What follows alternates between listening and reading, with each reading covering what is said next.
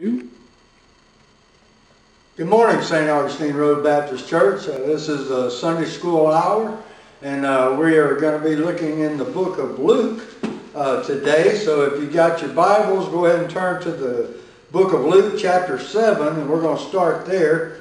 Uh, before we get started, we're going to pray a little bit, because uh, we can't do anything without prayer. So uh, let's go to the Lord in prayer. Dear Heavenly Father, we do thank you, Lord, for your good grace and mercy. And Lord, we just ask you to watch over everyone out there today. Lord, uh, we know that all this coronavirus is going on and, and people are just freaking out all over the world, Lord. So, but Lord, one thing I've noticed that Christians have been calm. Christians have been calm and they've been uh, uh, not too worried about this because we know that you're in control, Lord. So Father, I just ask you to just help us to through this ordeal, Lord, and, and Lord, just direct and guide us in the way that you would have us to go. And I did want to lift up Miss Bobby and, and Brother uh, Rocky uh, for the passing of Brother Wayne. And Lord, we just lift them up, lift up that family to you, Father. We just ask you to put a hedge around them at this time and comfort them. And Lord, be with all those in our congregation that are sick and uh, dealing with uh, illnesses and surgeries and hospital recoveries. And Lord, we just lift them all up to you today. Father, we ask you to just join us now in your word. Father, we ask that you would just speak to each one of our hearts today. Lord, I do thank you. I ask you to just set me aside, Lord. Let your word and spirit speak to us. And Father, if there's one out there that doesn't know you as Lord and Savior, Father, I pray that you would draw them to your Son, Jesus Christ. For it's in him that we have salvation. And it's in him that we have peace. So, Father, we thank you now and we love you. In Jesus' name, amen. Amen. All right, well, we're looking in uh, Luke chapter 7. We're going to be looking at five different people in, in this, uh, in this uh, chapter here. And, and, I want you to think about this. Uh, we're going to be looking at motives, why people come to Jesus. Uh, what is some of the motives uh, that why people would come to Jesus? Uh, first off, we're going to be looking at a centurion uh, soldier. Uh, this takes place in the book of Capernaum. And uh, a little later on, we're going to get to a story. And uh, we'll talk about that in just a little bit. But let's look at this right now. Hopefully I won't run too many rabbit trails. All right? It says, uh, now when he had entered all, now when he had ended all of his sayings in the audience of the people, he entered into Capernaum. And a certain centurion's servant who was dear to, unto him was sick and ready to die. So we see that this centurion, this centurion soldier has a servant and he's real dear to him and he's getting ready to die. So right away we get this, this uh, centurion's motive and his motive is to help a friend. Uh, he wants to get in touch with Jesus to help his friend uh, that he might heal him so he doesn't die says in verse 2, it says, And a certain centurion's servant, uh, who, who was dear unto him, was sick and ready to die. And when he heard of Jesus, uh, he sent unto him elders of the Jews, beseeching him that he would come and heal his servant. And when he came to Jesus, or when they came to Jesus, uh, they besought him instantly, saying that he was worthy uh, for whom he should do this. Uh, for he loved our nation and he had built us a synagogue. So uh, we see that this centurion servant uh, was partial to the Jewish people, built them a synagogue, and, and so now he sent the, the, the uh, elders to come to Jesus. Verse 6, he says, And then Jesus went with them, and when he was now not far away from the house, the centurion sent friends to him, saying unto him, Lord, trouble not thyself, for I am not worthy that thou shouldest enter under my roof. Wherefore neither thought I myself worthy to come unto thee, but, but say in a word, and my servant shall be healed. Man, there's some faith right there. Uh, this centurion servant, we see how uh, we see his humbleness that he's not worthy to come to Jesus, or he doesn't feel like he's worthy to come to Jesus. He doesn't feel like Jesus, uh, he's worthy for Jesus to enter into his house. And so he had sent elders, he had sent friends to Jesus, and, and he finally said, Lord, all you got to do is just say the word. Just say the word, and I know my servant will be healed. Verse 8, he says, For I am a man uh, set under authority, having under me soldiers. And I say unto one, Go, and he goeth, and to another, Come, and he cometh, and to my servant, Do this, and he doeth it. When Jesus heard these things, he marveled at him.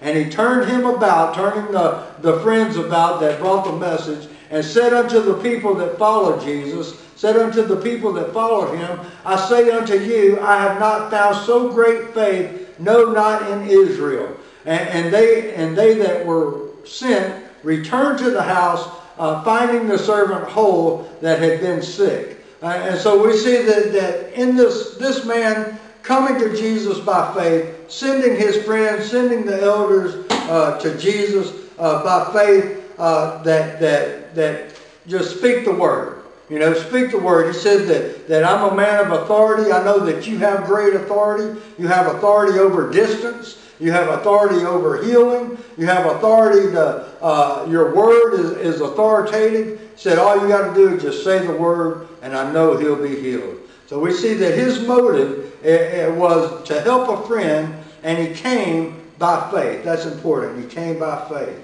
Let's look at the next one now in verse 11. It says, and, and it came to pass the day after that he went into a city called Nain and now Nain is, to give you a little history here, Nain is, is in the southernmost portion of Galilee. Uh, Capernaum is, you have the Sea of Galilee. Capernaum would be up on the northwest corner, uh, and uh, uh, Nain would be all the way down past the Sea of Galilee, almost into the, the next territory there, into Samaria, but uh, uh, is right there on the southernmost edge of Galilee. So we see that Jesus is working his way down toward Jerusalem, it looks like. So anyway, he says, uh, Now when he came nigh to the gate of the city, behold, there was a dead man carried out, the only son of his mother, and she was a widow. And much people of the city were with her. And when the Lord saw her, he had compassion on her and said unto her, Weep not. We see that we have these two masses of people coming together at the city gate those that were following Jesus and those that were following the funeral procession. And they met there at the gate, and, now uh, Jesus saw this woman knows in his heart, because Jesus knows all things, knows that this is her only son, knows that she's a widow, knows that she's all by herself, all alone, and Jesus had compassion on her. Uh, he said that uh, he came up to her and he told her, Weep not. Uh, verse uh, 14 he says, And he came and touched the bier, which is the open coffin, came and touched the bier, and they that bare him stood still. So the, the pallbearers, they stood still. Uh, it's always good when people stand still around Jesus. You know, when Jesus comes around, people stand still. And, that's a good thing because when, when people stand still and Jesus has the floor, things are going to happen. Amen? Amen. Look what he says. It says, And he said unto the young man, I say unto thee, arise. And, and he that was dead sat up and began to speak, and he delivered him to his mother. And there came a fear on all, and they glorified God, saying that a great prophet is risen up among us, and that God has visited his people. And this rumor of him went forth throughout all Judea and throughout all the region round about. So we see that, that, uh, that this woman, she has no expectations. Look at this. She, she comes with no expectations. She comes with no motives. Uh, she didn't even know Jesus was going to be there. She was coming to bury her son, and then all of a sudden Jesus shows up. He shows up and he sees her and he has compassion on her. You know, uh, that's just like Jesus. To just show up in the time of need. You know, whenever there's a need, Jesus can show up. Uh, he, he, he, can come and, and he can touch us. And, and we want to be touched by Jesus. If you've never felt the touch of Christ, man, you're missing out. I'm telling you, if, you're in a, a, situation that's out of your control, uh, just like this coronavirus, you know, people are, are, are just worried about this all over, but I see in Christians, they're not worried because we know Jesus. And we know that Jesus is, is in control of all things. He created all things. So it's nothing for him to raise the dead. It's nothing for him to get us through this uh, uh, virus, through this illness. You know, the Bible tells us in, in Revelation that, that and in, uh, in the book of Matthew, chapter 24, these are birth pains we're going through. You know, there's coming a day when the church is going to be raptured out and, and God's going to pour out his wrath upon this world and all those who rejected Jesus Christ as Lord and Savior. And these are just birth pains. This is just the beginning. You know, church is going to be gone. And when we're gone, man, it's going to be it's going to be hell on earth. And, and if they're freaking out now, just imagine how they're going to be in that day. Amen. Look at this. Now, we see that this woman had no expectations. She was grieving. She was coming to bury her, her son. And, and Jesus shows up, no motives. And, and he talks to her, says, Weep not. Goes over, touches the coffin. You know, uh, I'm sure the Pharisees in the town were watching this and they're like, Oh, he's unclean because he just touched the coffin. He touched the dead body you know. But he comes over to the young man. That just shows you that, that this, all these man-made laws and rules uh, that men set out, that religion set out, they mean nothing to Jesus. You know, Jesus goes by what's in this book right here. And, and, and he wrote this book. So we know that, that, that he's going to hold to that and not the, not the religion of men. But we see that this young man, he arose uh, he sat up in that coffin he, and started to speak. And Jesus brought him to his mother, delivered him to his mother. And like I said, no expectations, no motives. Uh, and I'm sure that she had great faith after Jesus passed by her. You know, uh, that's the thing. You know, we can come to church, and you might come to church, you might be lost, but man, Jesus comes by your pew one day, and he kind of touches you, and he, he, he tells you to weep not, to be of good courage. And man, the next thing you know, you're hitting the altar, giving your heart to the Lord. Amen. that's, that's my Lord right there. That's my Lord. Amen. Well, let's look at this next one now. Uh, this next one, we're seeing uh, uh, John the Baptist here. Now, John the Baptist, he's in jail at this time. And uh, his faith is not wavering. You know, we might read this story here and we might think that his faith is wavering. Uh, we might think that, uh, uh that you know, uh, he's doubting, but he's not. Just get that out of your mind. He's not. John saw Jesus when Jesus came there in the Jordan to be baptized. John is, this is the very John that said, Behold the Lamb of God that taketh away the sin of the world. This is the same John that saw the dove descend from heaven and light upon Jesus. And the Lord had spoken to John saying, when you see the Holy Spirit descend and, come upon this, you'll know this is he. Uh, you'll know that this is the man. But we see here that John in prison, uh, we're seeing that he's just wanting a reassurance. You know, when we're going through a time of testing, when we're going through a time of uh, uh, uh, just uh, just heavy burden upon us, we want reassurance. You know, and we can get reassurance from the Word of God. And that's what John was looking for. Let's look at this in verse 18. He says, And the disciples of John showed him all these things. And John calling unto him two of his disciples sent them to Jesus, saying, Art thou he that should come, or, or look we for another? Uh, when the men were come unto Jesus, they said that John the Baptist has sent them unto him uh, uh, to say, Art thou he that should come, or should we look for another?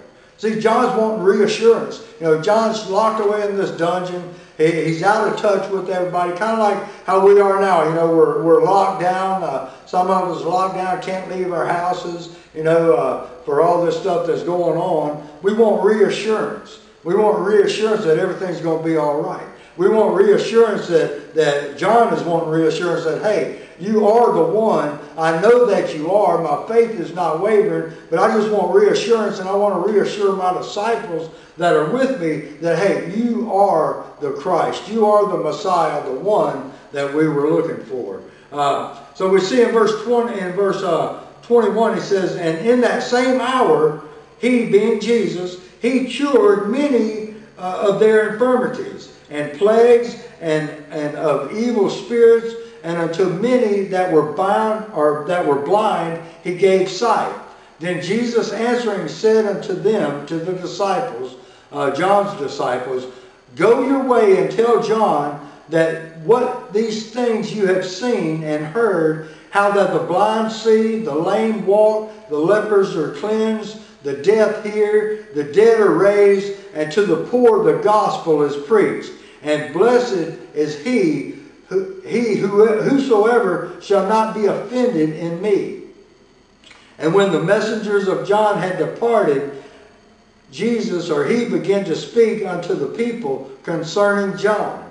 We see that that that in this, when Jesus sent those disciples away and he told them, Tell John what you've seen. Tell John how the how the lame are healed, the blind can see, the, the deaf can speak, uh, uh, I mean, the deaf can hear, the, the, the dumb can speak, the lame can walk, uh, the lepers are cleansed, uh, the gospel has been preached to the poor, those that sat in darkness. He said, Tell John that, and that'll be the reassurance that John needs uh, when, when he comes to him and, and reassures him in prison that, hey, I am he. You don't need to look for another.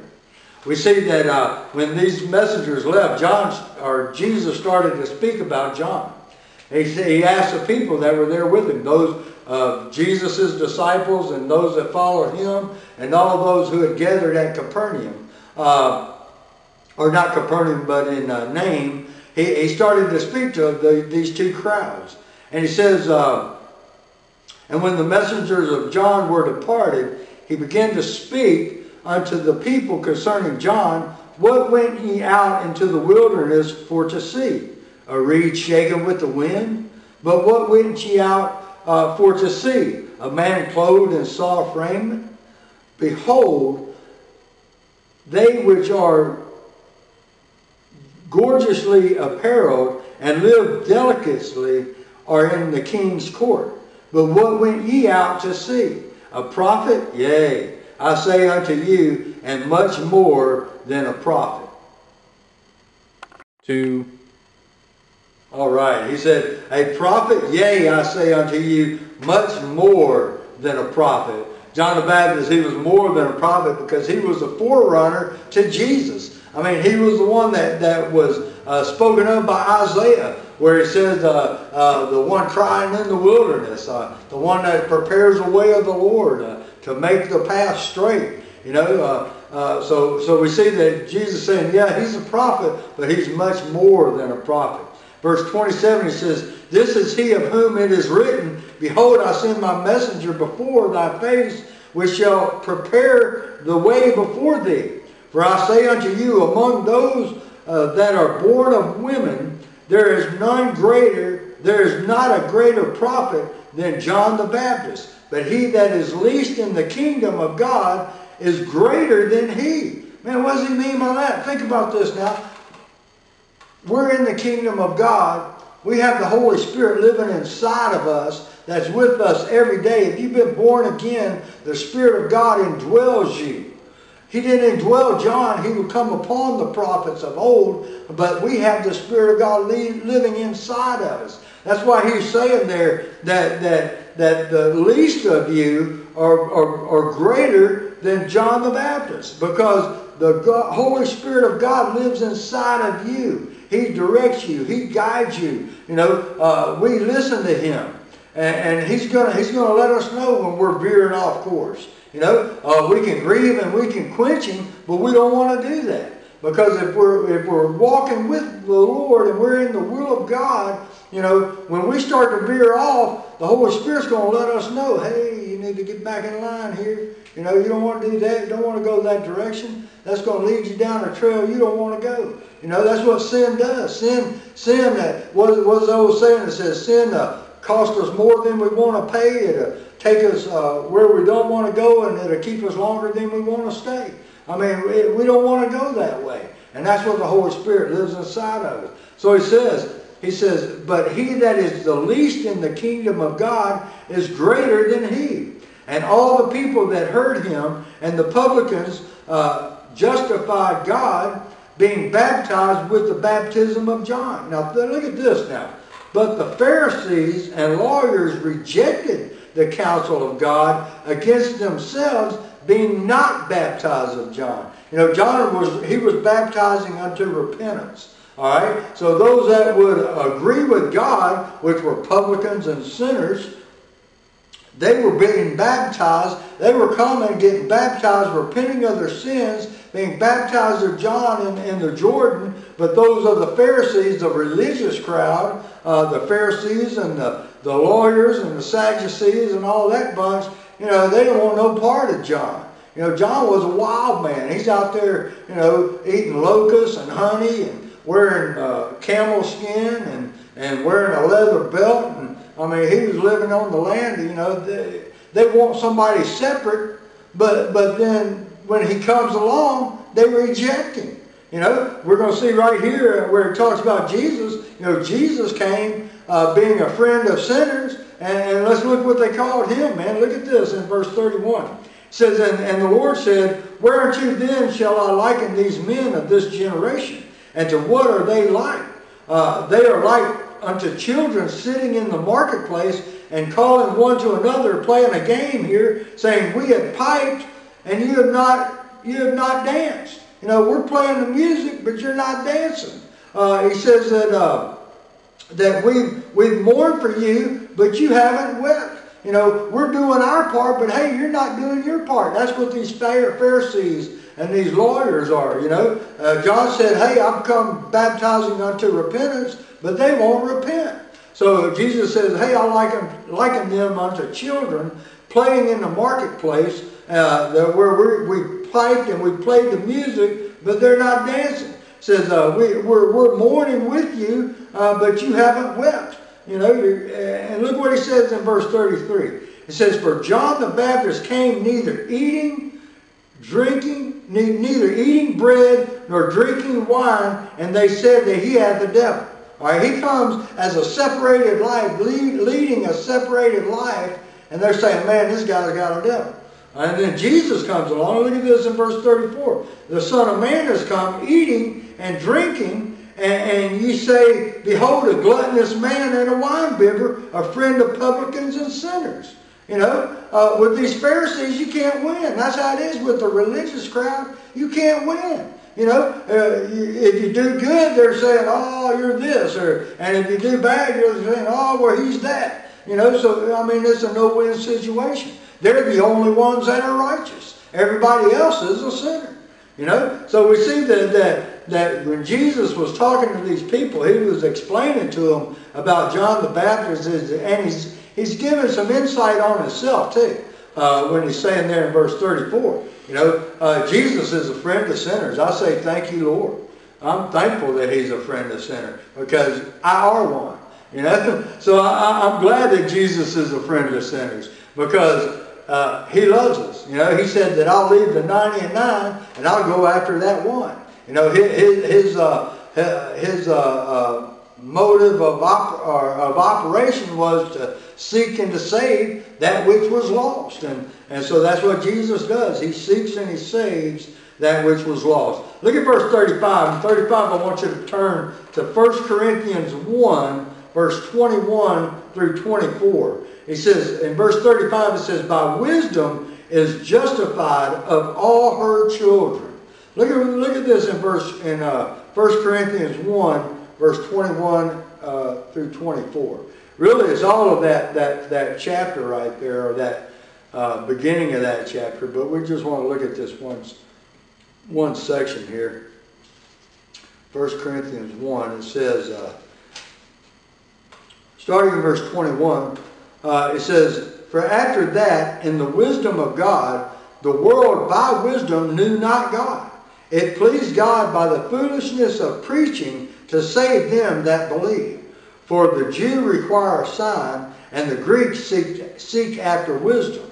But we preach Christ crucified unto the Jew a stumbling block, and unto the Greek foolishness. But unto them which are called, both Jew and Greek, Christ, the power of God and the wisdom of God. You see, for all those who are born again, we know that Christ is the power of God. We know that Christ is the wisdom of God. Therefore, the verse says, But wisdom is justified of all her children. All those who are born again are, are the children of wisdom because they have received Jesus Christ as their Lord and Savior. Now, in this last section, uh, which, man, I know I'm talking fast, uh, uh, hopefully we're going to get through with all this. I think we will. Now, in this last story, this story is similar uh, to another story that you can find in John 12, 1 through 11, in Mark 14, 1 through 11, and in Matthew 26, 6 through 13. It's a similar story, but it's totally different. That story takes place in Bethany at the time, uh, six days before the Passover, uh, when Jesus is going to be crucified. Uh, some of the characters are the same, or not the same, but but similar. Uh, as we're going to see, there's uh, that takes place in Bethany, uh, in Simon the leper's house, and also Mary was the one that anointed Jesus with the with the ointment and Mary being uh, the sister of Martha and Lazarus. And uh, she had done that for his burial. But this is a different situation, different town. This is still in Nain, uh, in southern Galilee. So uh, the stories, you, you, can get them confused, but I just wanted to point that out to you that that's a whole separate story. Uh, and if you want to go and study that, look through those three verses, John 12, 1 through 11, Mark 14, 1 through 11, and Matthew 26, 6 through 13, because each one of those stories you pick up a little more information, and there, it's the same story about the same event. But this is a different event. Now, this event takes place, like I said, in Nain, and we're going to look at two people here. We're going to look at a Pharisee, and we're going to look at a woman in the city, which was a sinner. Uh, we're going to see their two motives for coming to Jesus. Uh, we see that, that this Pharisee, let's read this. This is Simon the Pharisee, and he's of the synagogue of Nain uh, there in, in uh, southern uh, Galilee. It says, And one of the Pharisees desired him that he would come and eat with him. Now, that word desired means, uh, check this out, this kind of gives us some insight on his motives. All right, because uh, his motives, he has, he has contempt for Jesus. All right, this Pharisee does, and we'll find that out a little bit in the story. Uh, but we see that, uh, that he has contempt for Jesus, and, and, by him desiring that Jesus would come eat with him uh, in his house, uh, we get a little insight here. That word desired, it means to interrogate by implying to request, to call, it means inquiry. It means to seek. It means to investigate, to search. So we get a kind of an insight on his motives that he wants to kind of feel Jesus out. He wants to kind of either uh, uh, uh, either you know find try to entrap Jesus or, or try to uh, accuse him of something.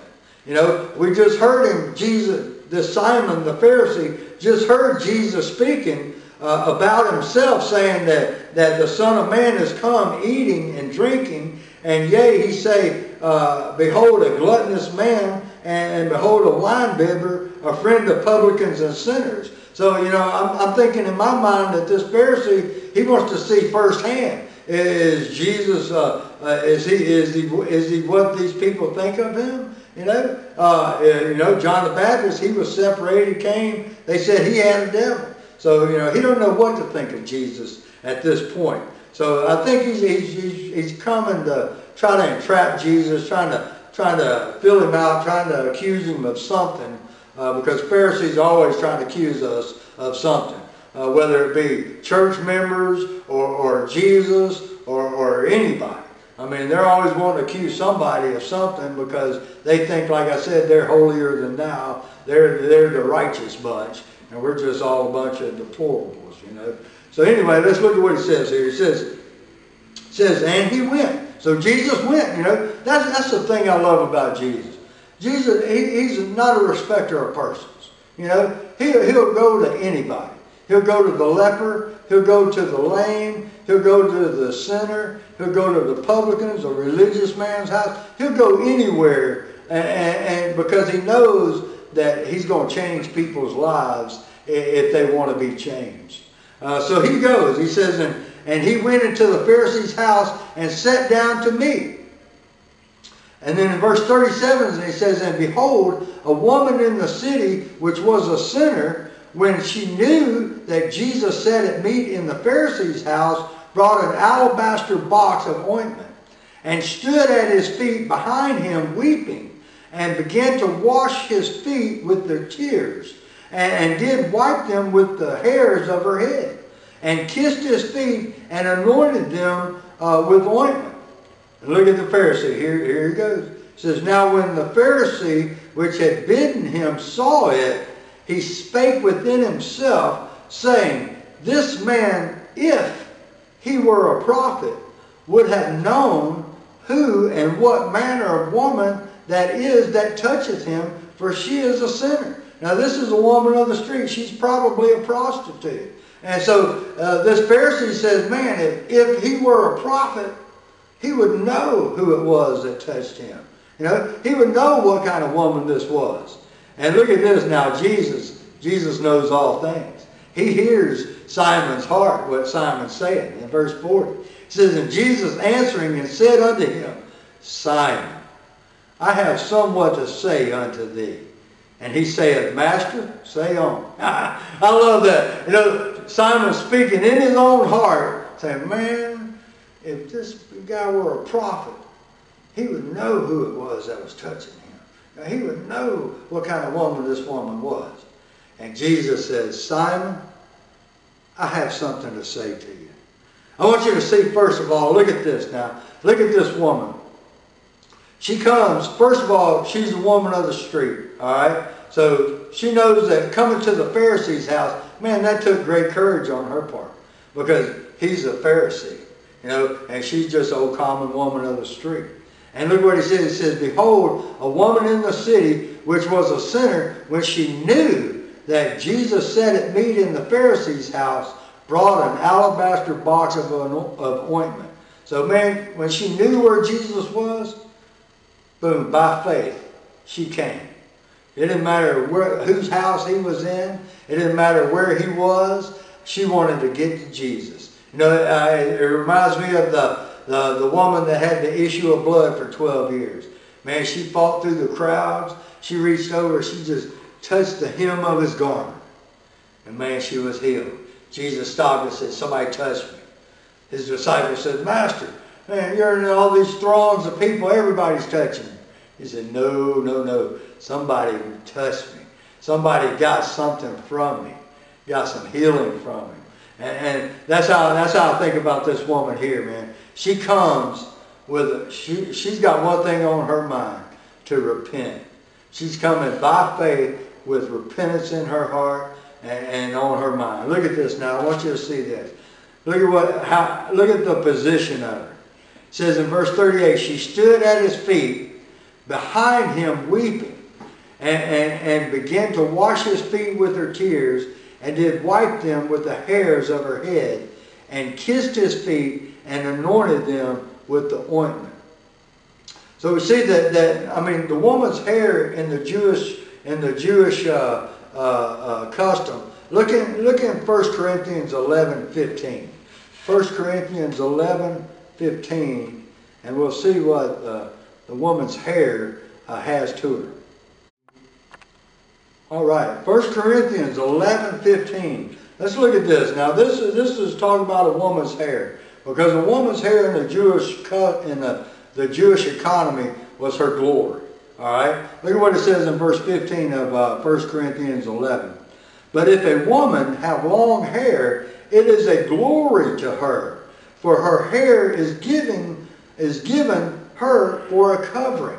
All right? So we see that, that you know, we see all over in the Middle East how, how women are, they're always wearing a, a veil over their heads and stuff. Well, to have a, a shaved head or, or to have short hair, uh, like that in, in that custom, uh, that was that was uh, a shame to them. But to have long hair, it was a covering to them. It was it was their glory. You know, that's like when uh, when an invading country would come in, that'd be the first thing they would do. They would cut the men's beards, they would shave their heads, they would shave the women's head, uh, just to degrade them and, and downgrade them. But we see that, that that's her hair. I mean, her hair, that's her glory. And look what she's doing with. Look at the humility here, the brokenness and the humility of this woman. It says that, that she began to wash his feet with her tears and did wipe them with the hairs of her head and kissed his feet. Now, over in the, over in the Middle East, over in that culture, if you were to show the, the bottom of your foot to somebody, that was a total insult. Remember, remember when George Bush was over there uh, and he was speaking, and the guy is on a news press conference, and the guy took his shoe off and threw it at him. And he said, oh, looked like a size 11 or something like that. Made a comment kind of playing it off. But that was an insult, you know, because uh, the shoe or the foot, you know, any part of that is, it, it, it, that's because in that culture, when you're walking around, your feet are getting dirty. So, I mean, your feet are, are, are constantly being dirty. Remember when Jesus was washing the disciples' feet? And, and, and he came to Peter, and Peter said, no, because he's puffed up with pride. He came to Jesus, came to Peter, and he said, he goes, Lord, you going to wash my feet? He goes, you'll not wash my feet. And Jesus said, if I don't wash your feet, you don't have anything to do with me. And he said, Lord, not my feet only, but my head and everything. And he said, all I need to do is wash your feet because you're clean everywhere. Uh, so, so the feet, that plays an important role, you know, uh, washing the feet. And uh, uh we see that this woman, man, she, she's crying, her tears, washing Jesus' feet, wiping them with the hair of her head, kissing his feet, and anointing them with ointment.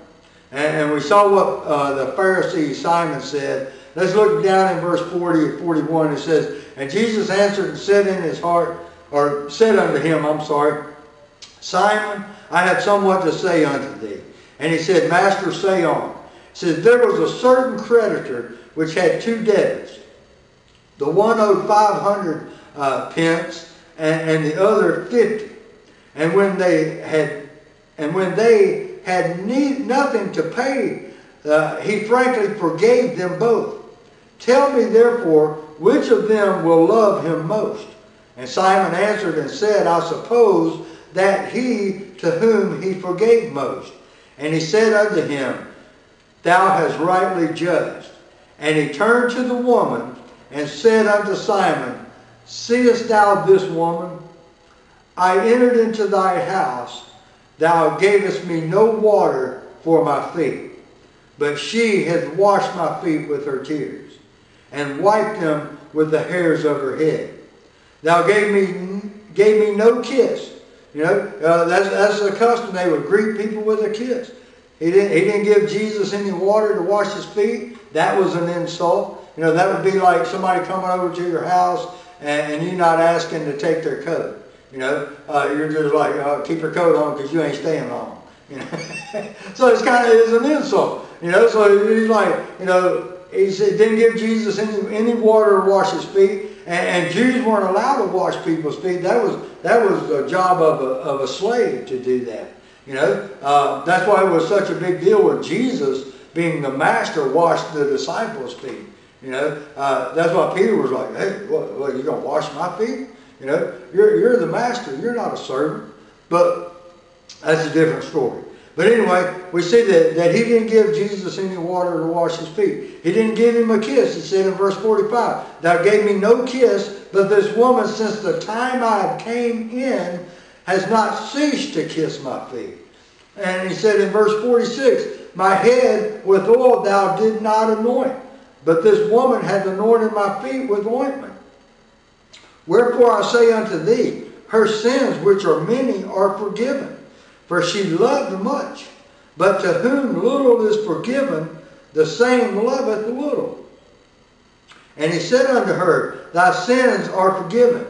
Now, here, here's the rest of that crowd, that Pharisaical crowd there. Look at them. And they that sat at meat with him begin to say within themselves, notice how nobody ever says anything out loud to Jesus. They're always talking under their breath or in the, into their self, you know. They're always speaking in their self. He hears us. He knows us. I mean, I, am going to show you something just a second. Let me show you right now.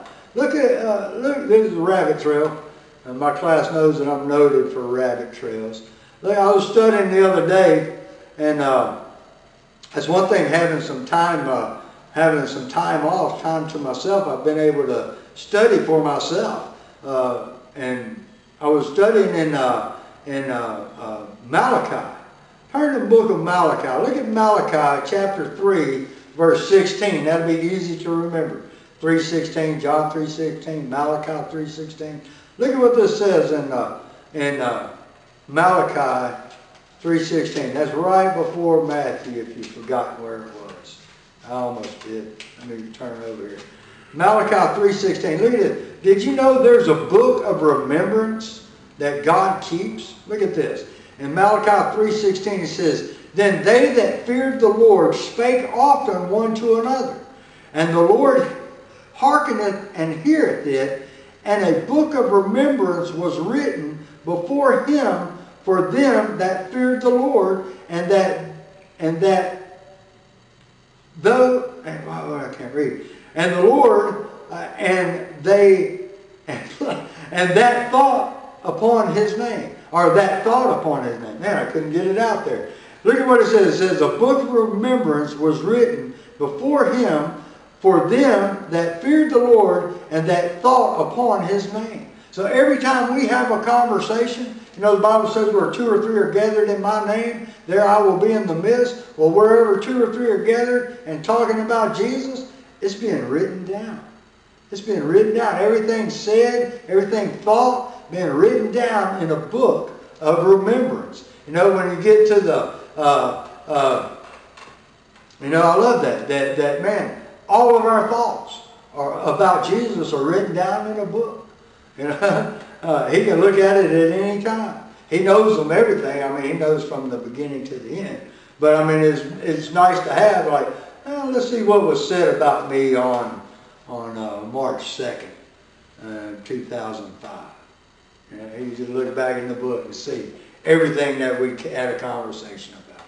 But we see that, that these Pharisees there and all these people that are gathered around, they're saying within themselves, look at what it says uh, in verse 49, and they, and they that sat at meat with him begin to say within themselves, who is this that forgiveth sins also?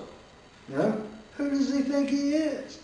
Who is this guy? You know, that's why that's why Simon wanted him to come there. He wanted to find out a little more about Jesus, find out what you know what, what who is this guy? You know, he already said if he was a prophet, so he doesn't think that he's a prophet. We know that he, he, he has a, a, contempt for Jesus because he didn't give him any water to wash his feet, didn't give him a kiss when he came in. I mean, he didn't do any of the normal customs of greeting uh, when he came in. You know, he just said, come in, sit down. You know, he, didn't do anything. Didn't anoint his head with oil, didn't anoint his feet, didn't do anything. Uh, but we see that, that he shows his contempt for Jesus in, in, the lack of stuff that he didn't do. You know, uh, look what he says there in verse 50. And he said to the woman, Thy faith has saved thee, go in peace. So this woman, not only did she come, I mean, I want you to see these three things here. She came, faith brought her to Jesus. All right? She knew where he was, she had to get there. Her faith brought her to Jesus. Humility and brokenness led her to repentance. You know, she repented of her sins, and love is a reason for her service. I mean, love is a reason for her actions of her uh, kissing Jesus' feet, washing his feet, wiping them with her hair. All that was done out of love. So we see some of the motives uh, of why people come to Jesus. We saw that, that a lot of the motives had faith to do with them. The centurion, by faith, he came, sent people to Jesus to heal his friend. You know, it wasn't, uh, it was for him indirectly, but it was mainly uh, to heal his friend, to heal his servant, uh, because it, he, he thought a lot of it. The widow Nain, she had no expectations. She had no motive. She, would, she just happened to be there, and man, she got her son back. You know, and I'm sure that she believed on Jesus after that.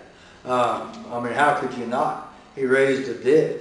Uh, we see that, that John the Baptist, by faith, sent his, his, his uh, disciples uh, to go and, and for reassurance for, for them and for him. Uh, that reassurance that, yes, Jesus is the one. So by faith, he sent and, and with reassurance. We see that Simon, he had no faith. Simon, he, he was content, he had contempt for Jesus. You know, uh, he, he, he didn't respect Jesus. You know, he, he, he was just a Pharisee. What more can you say? But the woman, she had the right, she had the right motives. She had the right intent because faith, hope, and love brought her to Jesus. Faith brought her to Jesus. Humility and brokenness led her to repentance. Love is the reason for her service. And that's why we should come to Jesus. Amen. Uh, let's uh, close in prayer and uh, we'll hope y'all had a good time and hope uh, the Lord blessed you. Uh, I know I stumbled and bumbled through a reading of it here, but uh, that's what I do sometimes. Let's pray. Dear Heavenly Father, we thank you, Lord, for your good grace and mercy, and we thank you for your word. And Lord, I just pray that, that, that all my nonsense was set aside, Lord, and that the Word and the Spirit would, would touch people's hearts.